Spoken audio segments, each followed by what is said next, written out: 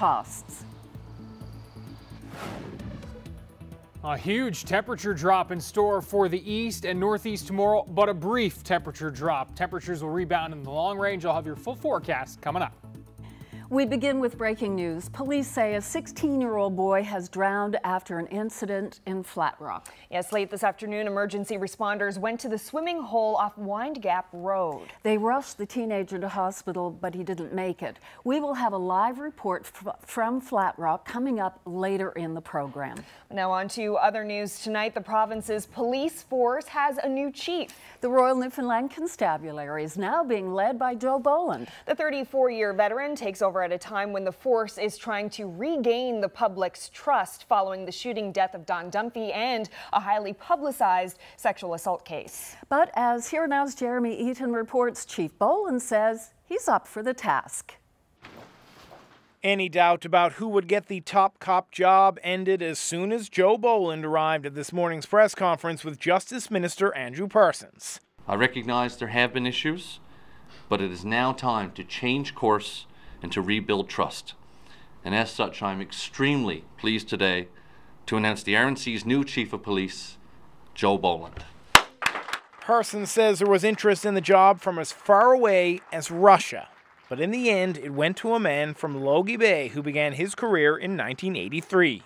Boland's appeal for government, he's worked in just about every division at the RNC, and he's well liked by his fellow officers as a former president of the Police Association. Now, he just has to convince the public that he's the man for the job after a string of incidents involving RNC members. The death of Don Dunphy, Constable Joe Smyth shot and killed him on Easter Sunday 2015. The sexual assault case involving Constable Doug Snellgrove, that's being appealed by the Crown.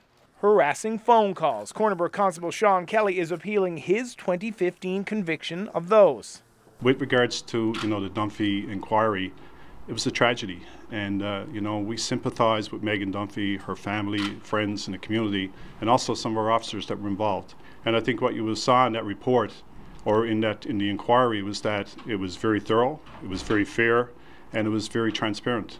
I really think that uh, I'm up to that challenge, and I think this organization is up to that challenge. After taking questions, Chief Boland received a warm welcome from his officers and staff.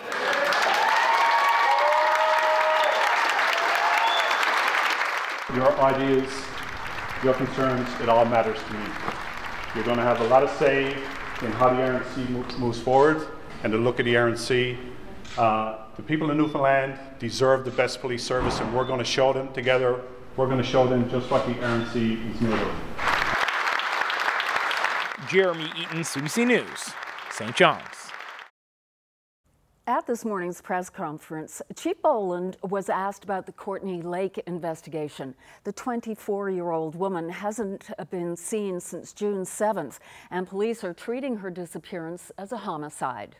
This case is on the go right now. It's the Courtney Lake case. Obviously, you're jumping into the new job facing that. Is there any update on that, or do you have any how or any idea how you will approach this particular case? I, I don't have an update. I don't know if Jeff could probably give an give an yeah, update. Uh, I've been busy the last couple hours or so preparing for an interview. But yeah, you'll hear something shortly from me. Meanwhile, Lake's ex-boyfriend had his court appearance set over this morning until July 11th. Philip Stephen Smith was to face charges including driving while disqualified and breaking court orders. Court documents show the 25-year-old pleaded guilty to a number of offenses on June 7th, the same day Lake disappeared. One of those was an April 15th assault against Lake, for which he received a suspended sentence. Yesterday, as part of the homicide investigation into Lake's disappearance, police scoured Torbayman's pond off the highway just outside St. John's.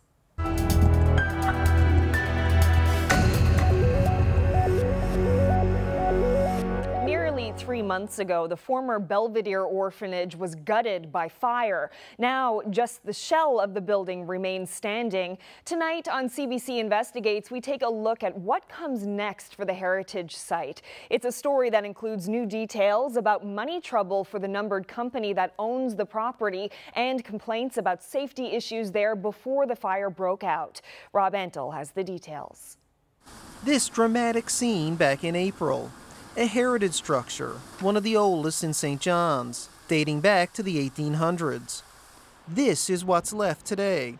The city will demolish it for safety reasons, with taxpayers footing the bill, at least for now.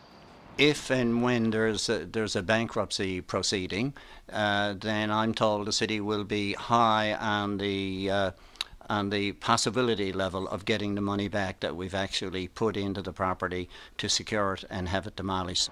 The city has tried contacting the property's owner but hasn't heard back. Now, CBC News has uncovered new details on recent financial troubles facing that numbered company, linked to developer Craig Williams. Five other businesses in his future group of companies recently went bankrupt, and the numbered company that owns the Belvedere land is not in great shape either. According to recent court testimony, it had just $59 in the bank, while owing 3 million in mortgages and other debts, and was also behind on insurance payments. That leaves questions about whether there was coverage on the building at the time of the blaze. Questions that are unanswered, at least for now. Also unanswered is the cause of the fire. The RNC has wrapped up its investigation and says it remains unknown. But what is known is that there were concerns about safety here, concerns about trespassers and vandals, and the risk of fire. The RNC responded to at least a half dozen calls of suspicious activity in the three months before the blaze. And according to documents obtained through access to information, the city received repeated complaints from nearby residents, at least another half dozen over a year and a half. Some of those warned about the building being a fire hazard for us, uh, safety is is uh, extremely important, and that's why we go in immediately and make sure the property is secure. I guess the ultimate responsibility would lie with the property owner. The owner was also aware of issues, saying this at a court hearing in March about the company's finances. It doesn't have any employees. It's currently not doing any business other than making sure that vandals don't destroy the building. It's not clear what the company did to address that problem. To date, the city has spent seven grand to secure the property, boarding up windows and doors in the month before the fire, putting up this fence afterwards to keep people out. Those costs will soon go up when a tender is called to demolish the building and tear down another piece of the city's heritage. Rob Antle, CBC News, St. John's. There's going to be an independent review of the rising cost of automobile insurance in this province. Government says it's responding to complaints from drivers. Insurance rates and the cost of claims have continued to rise since the last review more than a decade ago. The Public Utilities Board and Service NL will be involved in the review. A construction worker fell 24 meters, or about six floors, in St. John's this morning. The man was injured just before noon. He fell from a scaffold at the site of the Sandman Hotel construction project on Kenmount Road. He's in his early 30s and from Flat Rock, and he was conscious, conscious rather, when taken to hospital. Some workers were on the site this afternoon doing ground level and interior work. Occupational Health and Safety is investigating parking spaces for cancer patients. That was the demand from protesters today at the Health Sciences Center in St. John's. And after a two-year fight, it appears some progress has been made. Here now's Alyson Samson reports. About 16 protesters gathered on the parking spots they hope to reserve. They want to designate them for cancer patients going through chemo. Jeff Blackwood has traveled this path a lot in the past couple decades. He lost his first wife to cancer 20 years ago Andy lost his second wife just in the past two years. Not everybody who's got cancer, but those who are going through chemo. Uh, your day is long. You come in sometimes, I know because I was attached at the hip with both my wives, and chemo would start at 8 in the morning, and there were times we didn't get out of here till 4 and 5 in the afternoon. Blackwood says they've come a long way from metered parking and tickets years ago, but there's a lot more they could do. There's about 35 beds dedicated to cancer patients in the Health Science Center. So you get about 35, 36 people who are going through chemo on a fairly regular basis. And the end result is that if we could get even 20 spots that were designated, that would be a major help, particularly near the front of the lot so they don't have to walk a great distance. Because you imagine what it's like in the winter, as I say, that's, that's even worse. Eastern Health listened to the concerns of the protesters. And this afternoon, the CEO, David Diamond, said they'll be adding eight more disabled parking spots within weeks. Disabled parking, what we've done is we've allowed clinicians in the cancer program to, if they have a patient who has mobility issues while they're taking chemo or other treatments, uh, they can provide uh, authorization so that cancer patients can park in the blue spaces. Diamond also said that about a dozen more spaces will be added before winter, once a new parking lot is constructed. Even with these extra spaces, chemo patients still won't be guaranteed a spot. Alyson Samson, CBC News, St. John's.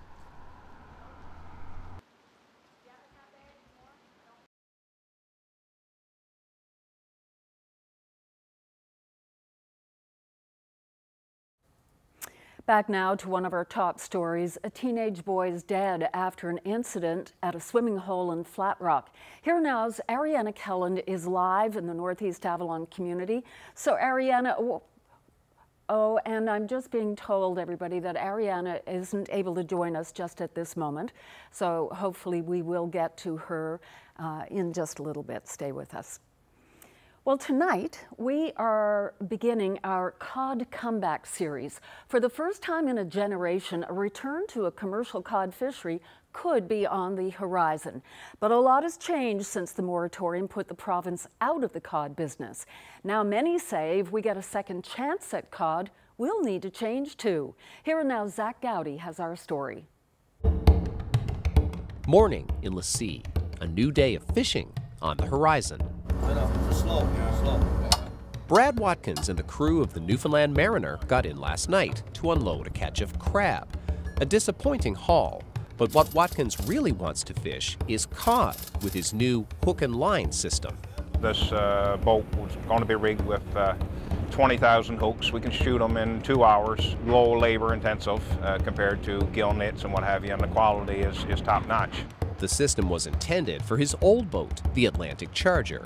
But in 2015, while Watkins was ashore buying the gear, his crew had a catastrophe at sea. They survived, but the Atlantic Charger was lost. Watkins' insurance paid out big. He could have taken the cash and walked away from the fishery for good. Instead, he bought back in. So it's unfinished business for me. It's like the gear that I'm going to be putting on this boat, still in crates, a lot of money, a lot of investing, and a lot of deals done. And Mother Nature uh, put me on hold, and uh, I just felt like I had to uh, get back at it and finish off what I started. Now, the province's cod fishery may also be getting a second chance. Cod stocks are at their highest levels since the moratorium began 25 years ago.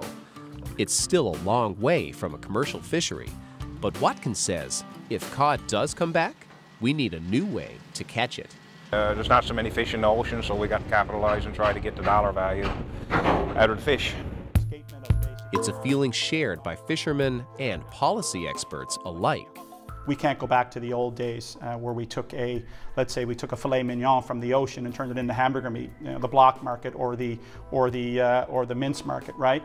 Uh, again, that served a purpose in the day. That model is not going to work today. While this province has been out of the cod business, two neighboring countries have risen up in the global market Norway and Iceland. Norway is the reigning king of cod, producing nearly a million metric tons per year. With that volume, Norway has cornered the market for cheap processed cod, the market Newfoundland and Labrador used to compete in. But if we can't beat Norway on price, Many say we should follow Iceland instead and aim for quality. They harvest at the right time of the year.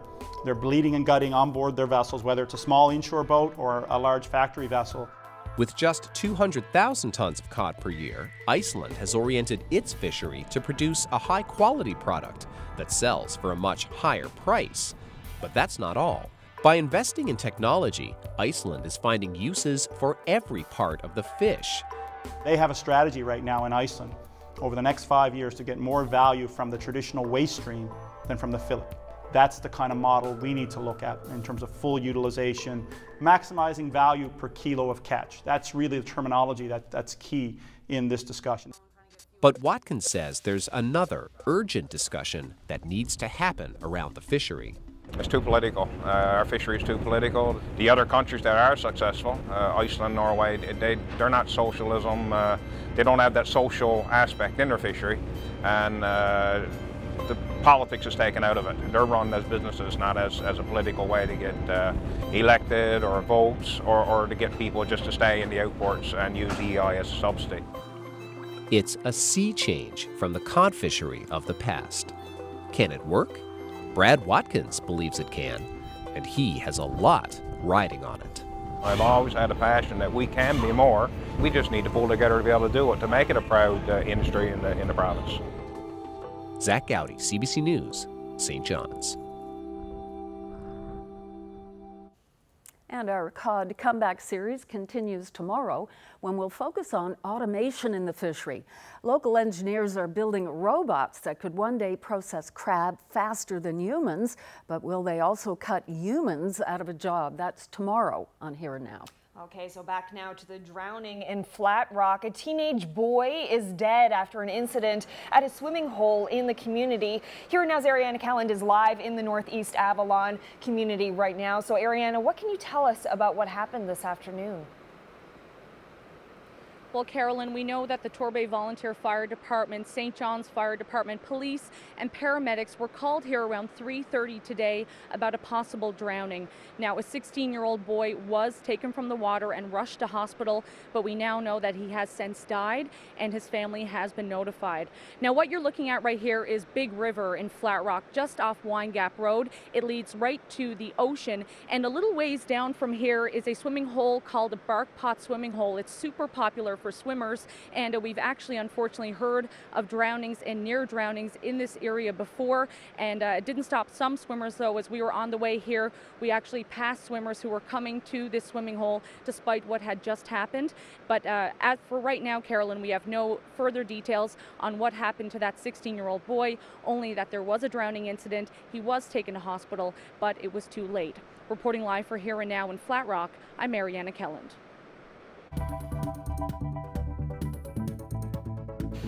Up next, we'll talk about new rules for businesses that sell flavored e-cigarettes.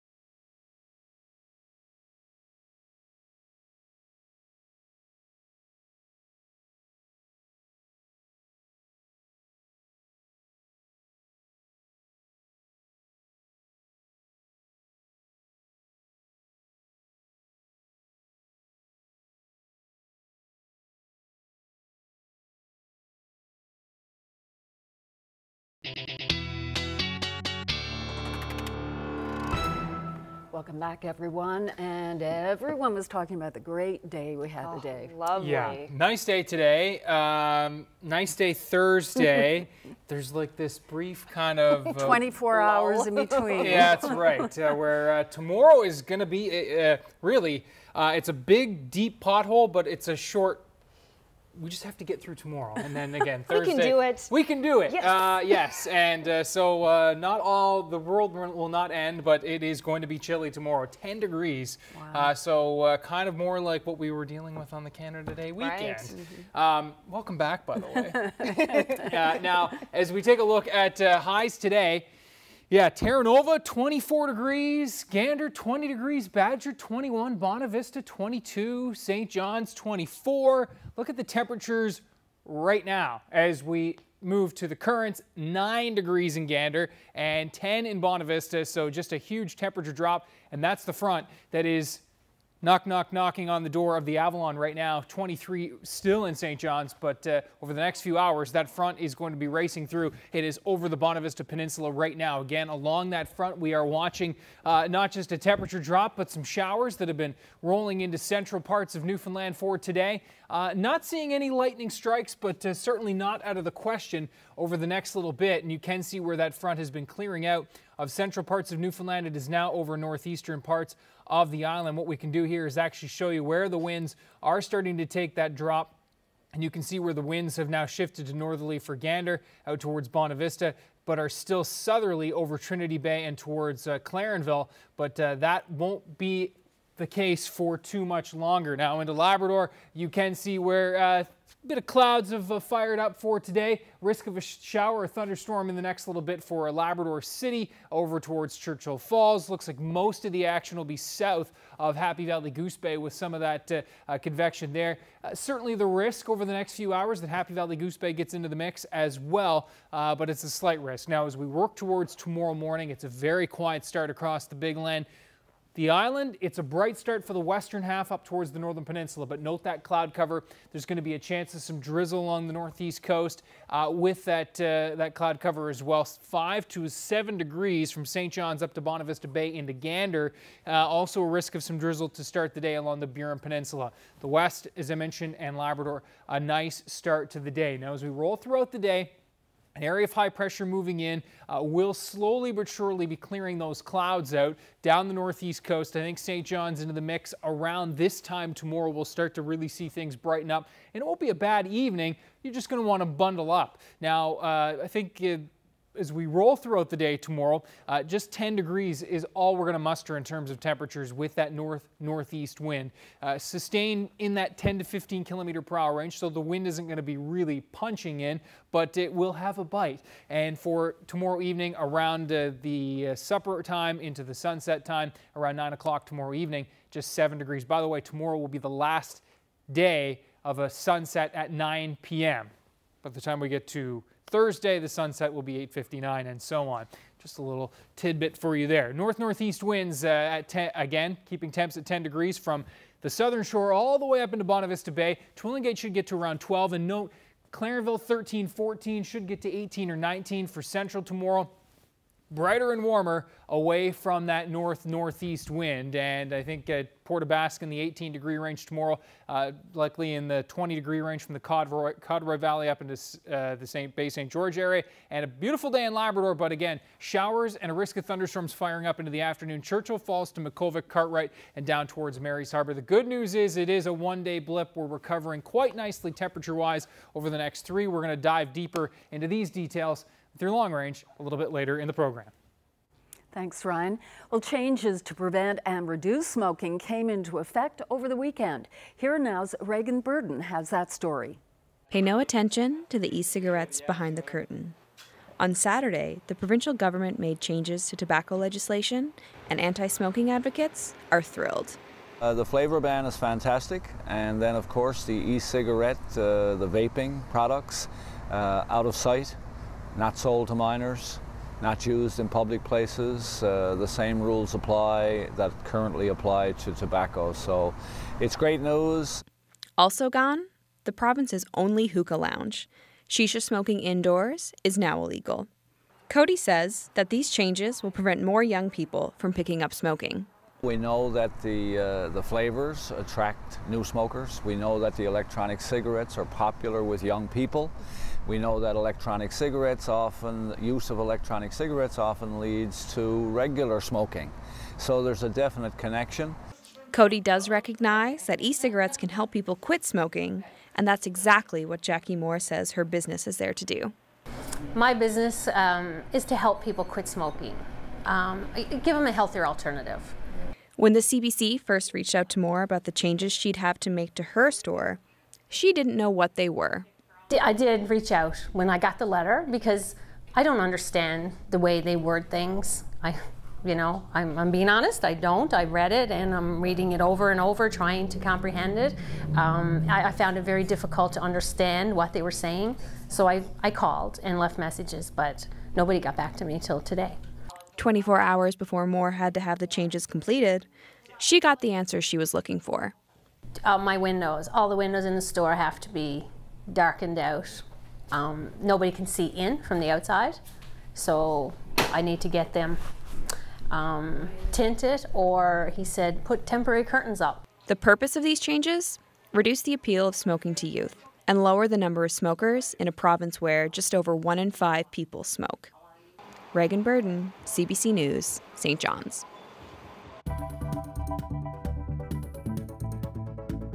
Royal Newfoundland Constabulary has a brand new chief of police. We'll tell you who it is coming up.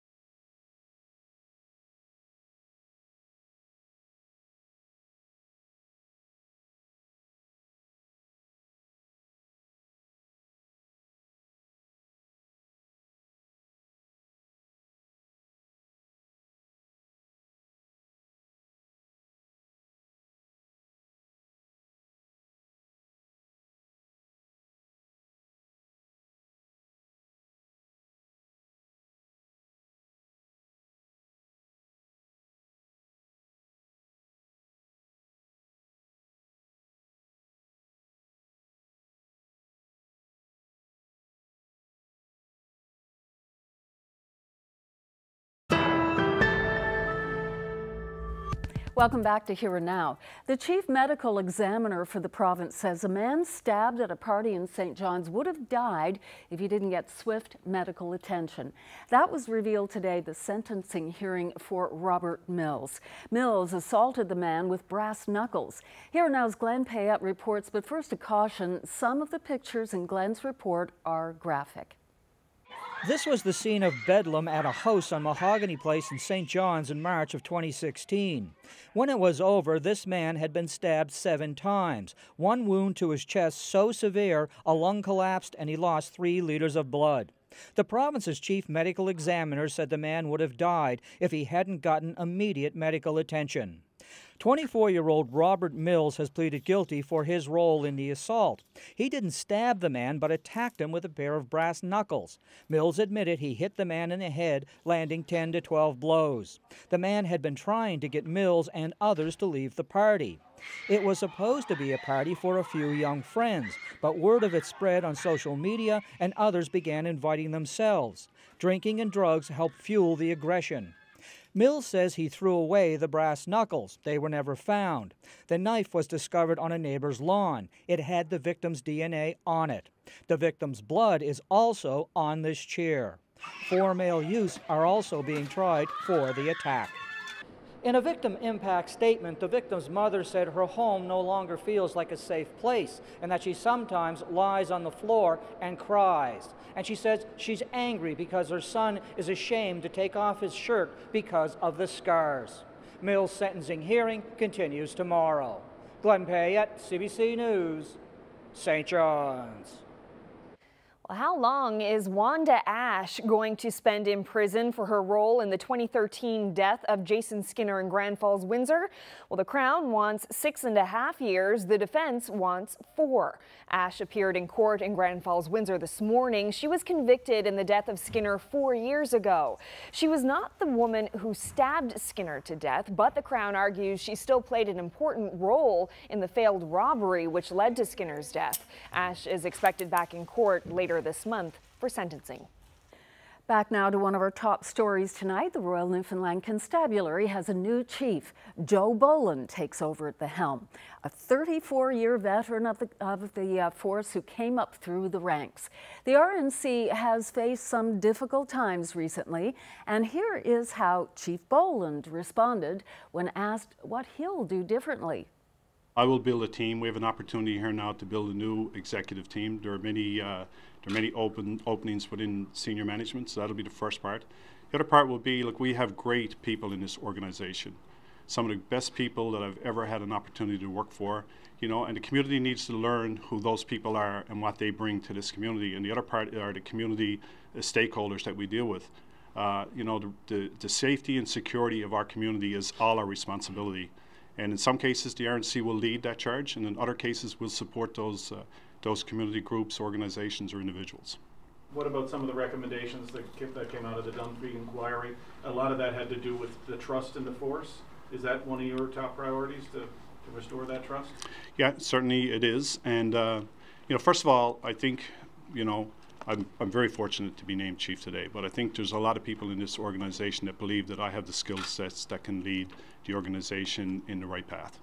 Uh, you know, with regards to you know the Dunphy inquiry, it was a tragedy, and uh, you know we sympathise with Meghan Dunphy, her family, friends, and the community, and also some of our officers that were involved. And uh, you know, I, I can honestly say that you know Minister Parsons, by selecting uh, Justice Barry, it was I think it was a brilliant move to select Justice Barry. He certainly has a lot of respect. I have a lot of respect for him, and I think what you saw in that report or in that in the inquiry was that it was very thorough, it was very fair, and it was very transparent. So I, I think you know going forward, yeah, there's a lot of work to do, Fred, but I really think that uh, I'm up to that challenge, and I think this organization is up to that challenge. Chief Boland, you said that you've been with the RNC for more than 30 years. Why would you want to take on this job when you could probably just retire and relax? Now, now that's probably. with all the challenges laid out and uh, everything yeah. else going on.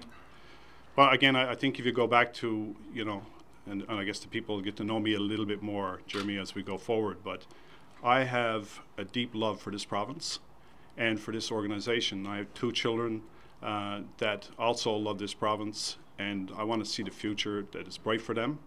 Uh, the minister and I briefly spoke this morning, and uh, I, I, don't see any reason why we can't raise our, our game here a bit as a, as a police service and provide this community with the with the level of uh, policing that they've come to expect. Biggest challenge facing policing these days: drugs. I think yeah, mental health and addictions and, and drugs certainly, and uh, you know we've come a long way. Uh, just just to share with you, uh, it was announced last week by the Minister of Health that you know the new response for that you will see coming out. You know, four plainclothes police officers will now join the mental health uh, crisis team, and so that's a shift. And I can tell you, Fred, that in 34 years in, in, for me in policing that was one of the biggest concerns I had. We were doing it wrong, quite frankly. And in some cases, it's a case where police are being relied on because other departments not necessarily got the resources to be able to handle it. So this new response that we're going to do, we're going to be we're going to be treating mental health like it should be treated, and that's as a health issue, not a policing issue. And we're going to come to the table, like I said earlier. Uh, in some cases, we lead, but in this particular case, we should support.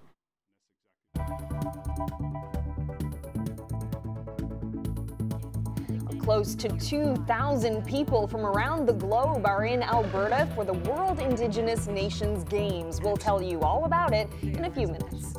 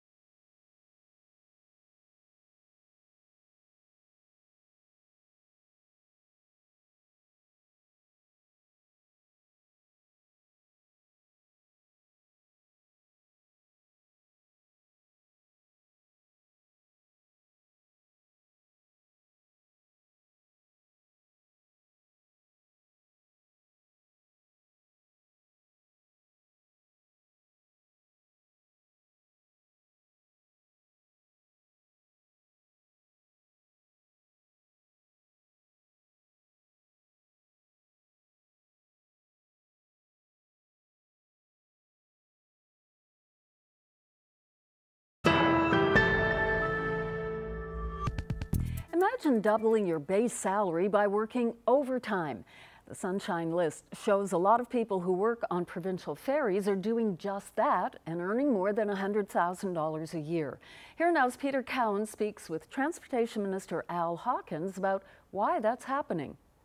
When you look at the overtime bills in your department and you look, for example, there's a cook, base salary 52,000, making over 100,000 once you include overtime, a first mate, who's making more than $200,000 once you include overtime. How concerned are you about these overtime bills? Well, well, Peter, uh, part of the, uh, I mean, there are a number of factors that's involved in the overtime uh, aspect for marine services, and of course, we're regulated by Transport Canada, and you know we have minimum requirements when it comes to uh, crew members, and so that's like if someone is off sick on a particular day, it's just not a matter of saying, okay, we don't have to worry about having someone uh, fill in for you. We we do have to bring somebody in because of minimum requirements.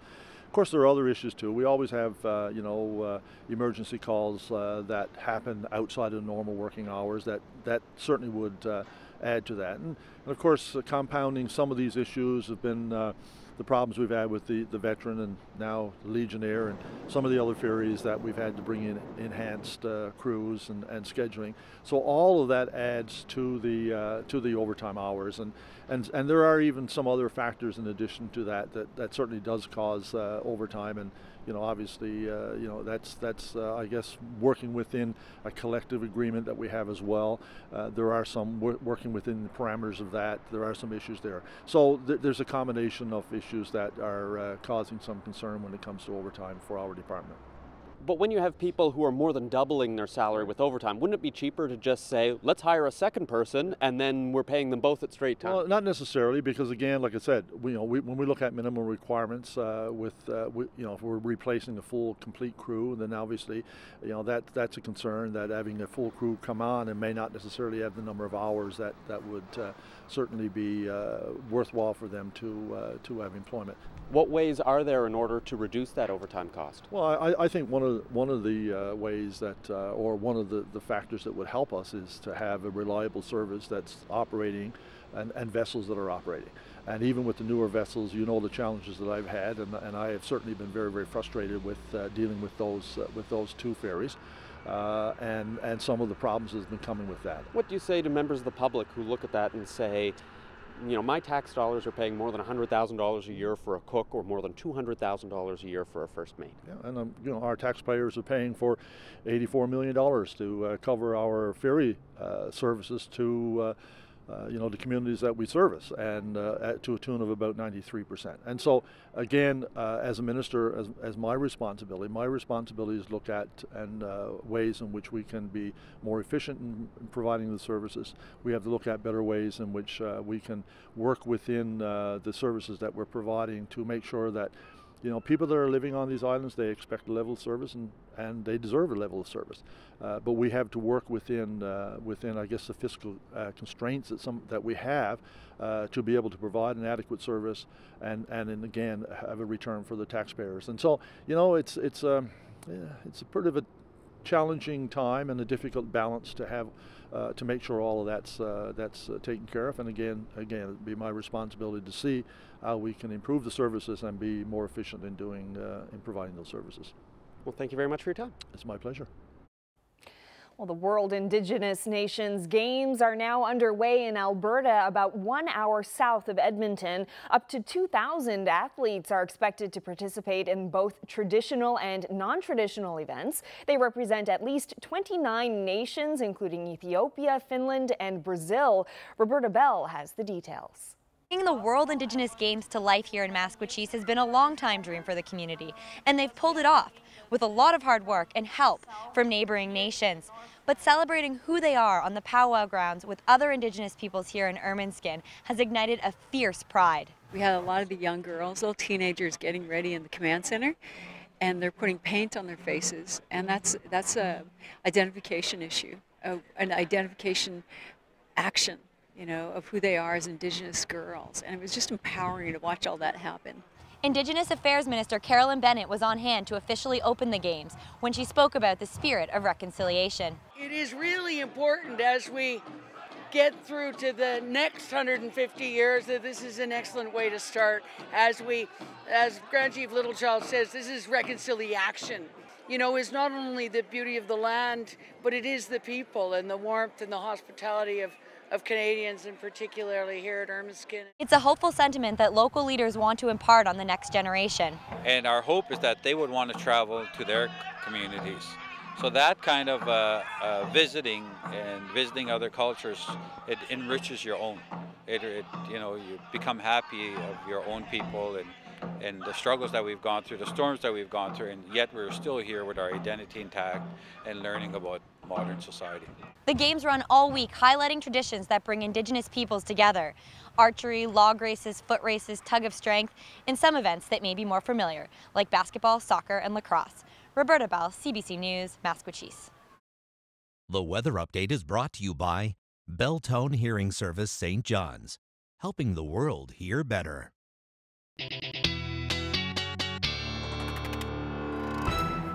All right, so it's going to be chilly tomorrow, but it's coming back, That's so no right. need to panic. It's That's just right. going to be brief. Yeah, absolutely. You don't need to cover those plants up for too long. uh, you'll be going out there and uh, giving your plants a Hope there pep talk, uh. Stokesy. Uh, no, uh, no frost either, which is good. Uh, but uh, yeah, how about this? Ochre Pit Cove on the Mm-hmm. northern part of uh, Conception Bay North is uh, down to around 12 degrees, yet just down the road in Carbonear it's still 23. So, but The line. yeah, exactly. That front is working its way southward. St. John's, uh, tick, tick, tick. Uh, an hour or two is about all we're going to muster here, and then that temperature is going to drop right off in St. John's as well. There's the front on the future tracker that I've drawn on there, and you can see where that front will move off and we'll see that uh, northerly wind punch in through tonight into tomorrow morning with some drizzle along that east and northeast coast and across the Avalon. That wraps up into the afternoon with clouds slowly but surely uh, mixing out and we'll see a little bit more on the way of some sunshine. A weak disturbance rolling through Labrador will spark up some showers and a risk of a thunderstorm tomorrow from Makkovik to Cartwright to Happy Valley Goose Bay as I mentioned earlier. It's a pretty nice day uh, from the west to the north parts of Labrador and a the best forecast for tomorrow will indeed be along the west coast of the island and along that south coast, high teens, low 20s, and tons of sunshine there. So Thursday, again, that northerly wind will be on its way out. The southerly wind returns, and Thursday is looking like a dynamite day across the island. Really, really nice. Temperatures into the mid 20s, a mix of sun and cloud nice in terms of uh, not a lot of humidity building in, and we are going to be seeing, uh, again, a few showers rolling into eastern parts of Labrador. It's Lab West that'll be the damp forecast with that next system moving in and a good chance of showers there. We'll see some better uh, shower chances moving into Labrador East for and Happy Valley Goose Bay for Friday. Happy Valley Goose Bay, the Straits.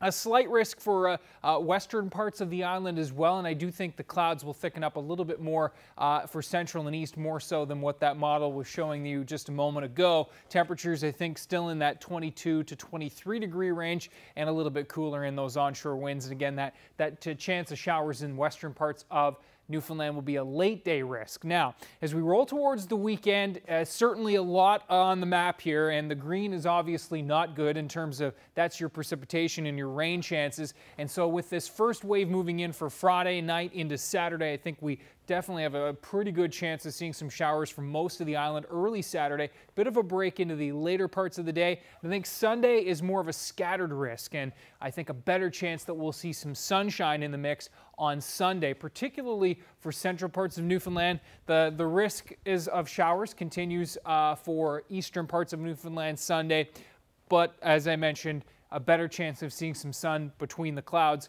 uh, for Sunday as opposed to Saturday, which I think all, all in all is, uh, is the cloudier, damper day of the two. Temperatures, though, staying warm, and that's the good news there. And you can see that trend does continue into next week as well. It's always the Monday is the best looking day, right? Uh, and uh, certainly that'll be the case uh, for Saturday, Sunday, Monday, at least at this point. We'll keep you posted over the next couple of days. And for eastern and western parts of Labrador, you can see those shower chances uh, definitely Friday into Saturday, but a, a better looking forecast for Sunday and into Monday, especially in the east. It's time now to introduce our young athlete of the day.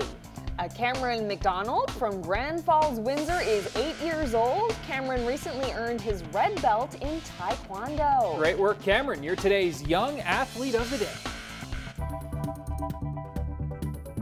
I've started new jobs before, but I've never, ever in my life received this kind of a welcome on day one. A ceremony was held today at the Canadian Space Agency to welcome two new astronauts to the country's space program. The Prime Minister officially named Jennifer Sidey and Joshua Kutryk. On Canada Day, the two will be moving to Houston, Texas for two years of training.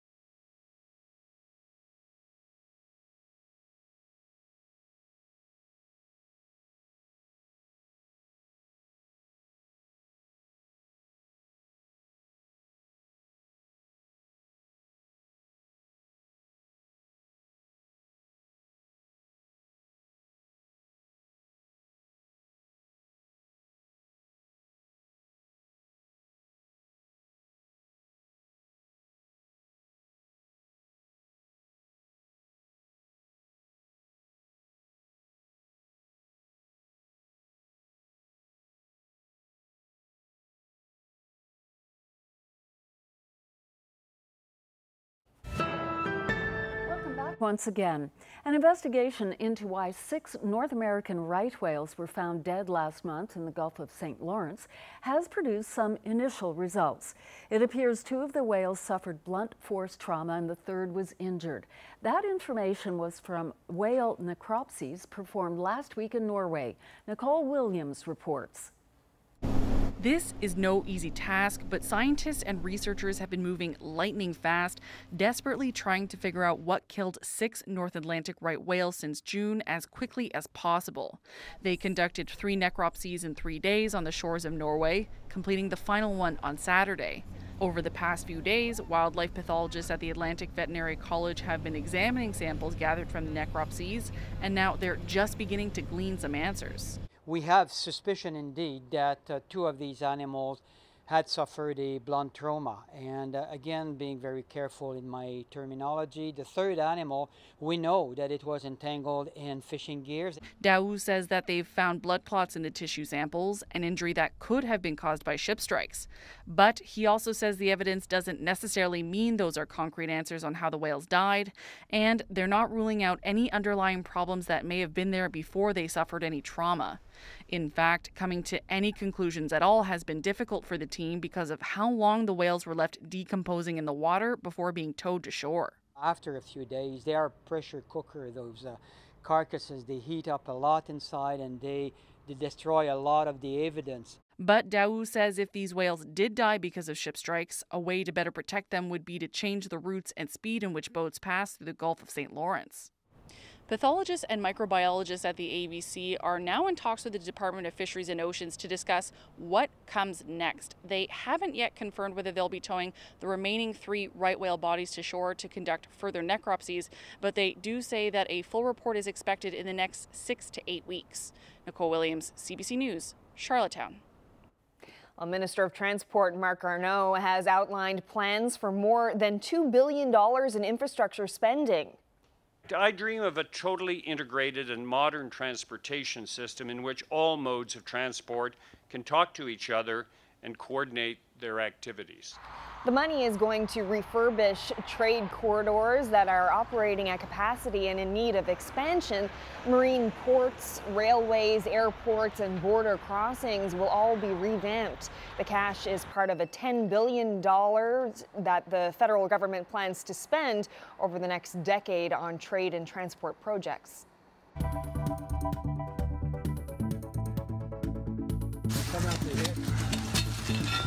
A dramatic animal rescue to tell you about now. This video is from U.S. Forest Services. It shows firefighters in Arizona carrying two fawns away from a raging wildfire. Only young deer are recovering at a wildlife rehab facility. And the Forest Service posted today that, quote, Smokey the Bear would be very, very happy.